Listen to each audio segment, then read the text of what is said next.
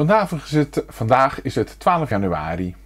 Ehm, gisteren hebben we gekke gezichten getekend. Uh, van de week hebben we ook al gekke loopjes getekend. Ehm, laten we dit nou eens gaan combineren. Gekke gezichten met gekke loopjes en gekke lichamen. Dan gaan we vandaag eens wat lichamen tekenen. Verschillende vormen die er zijn van lichamen. Uh, zodat je kan gaan variëren in, in het tekenen van stripfiguren.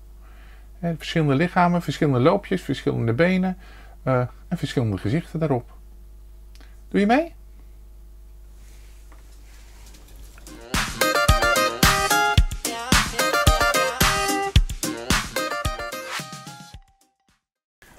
Goed, verschillende vormen van een lichaam. Nou, dan kun je goed combineren. We hadden net al gekke loopjes. Hè? Tenminste, we hadden eerder al deze week gekke loopjes. Of vorige week. Uh, ja, vorige week was dat. Hadden we gekke loopjes. Gisteren hadden we gekke gezichten dinsdag. Vandaag woensdag het lichaam. Laten we eens uh, kijken wat voor verschillende vormen we hebben.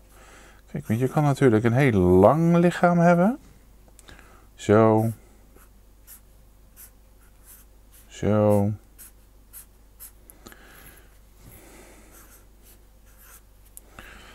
Nou, een arm erbij.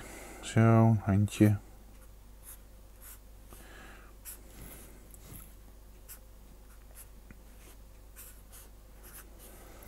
En een, uh, een hoofd. Maar dat kan natuurlijk ook uh, heel anders. Je kan ook een, een vorstpersoon hebben. Armen. Dan schets ik het nu eventjes.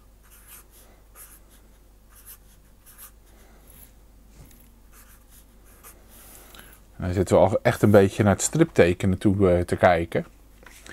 Nou, als je dit wil uitwerken, dan leg je nou gewoon een velletje overheen. Kijken of dat een beetje doorschijnt. Nou, dat schijnt een klein beetje door. Nou, dat is handig, want daar kunnen we het uh, toe gaan passen. Hè? Kijk, we hebben bijvoorbeeld een neus. Daar is echt een poppetje van maken. Zo. En dan geven we oren. Geven hem wat haar. Zo. En een stropdas.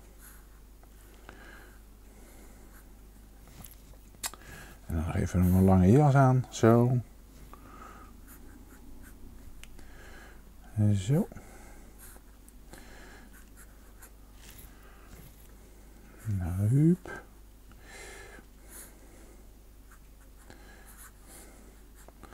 Is eigenlijk hetzelfde poppetje als van daarnet. Nee, nu krijgt hij wat, uh, kleden we hem wat meer aan. Hè? Een streepjesbroek.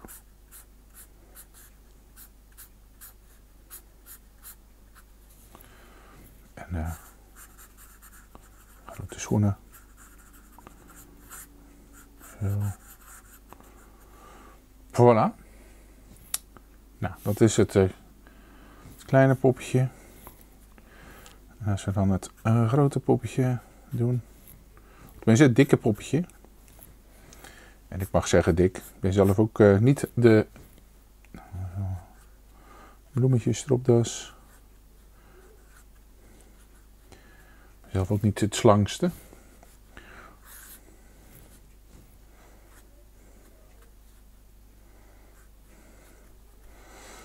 Zo. Ja, zo, hup. Um,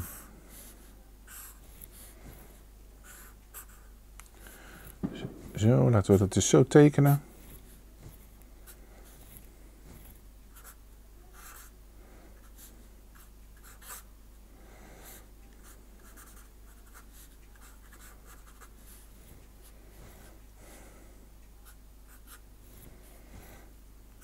Op zijn rug. Zo. Nou, volgens mij ziet hij iets in de lucht. Hij ziet hier een. Uh... zo. Een ballonnetje vliegen.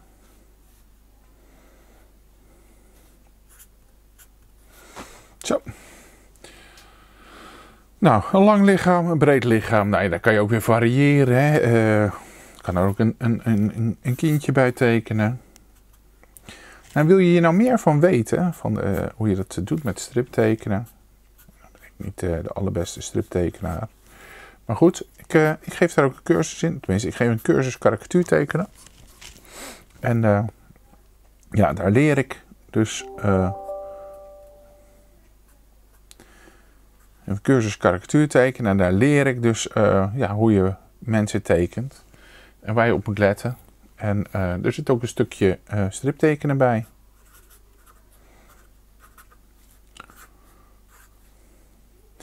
Ja, dit is dan even heel snel, maar je kan het ook uitwerken. Je kan een tekening opbouwen. Het is nu even zo recht met de stift.